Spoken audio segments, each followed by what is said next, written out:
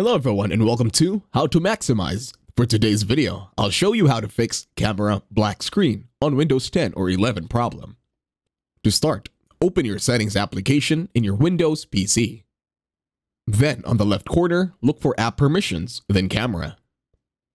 For camera access for this device, click on change. And then make sure it says on. Now the next step is you can scroll down and then in here, you can turn on some specific applications that will be able to use your camera. Now click on Home on the left corner of your settings. And then in here, click on Apps. Now tap on Apps and Features.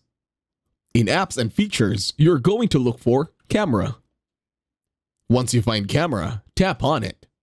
Then click on Advanced Options. In here, you will see the app permissions for camera make sure you turn it on.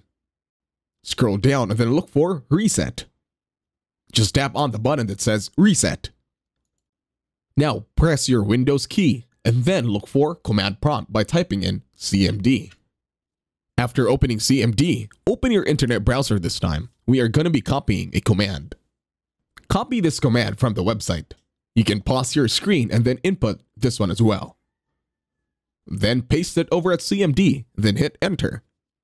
And that's it. Thank you very much for watching. Please leave a like, share, and subscribe to the channel.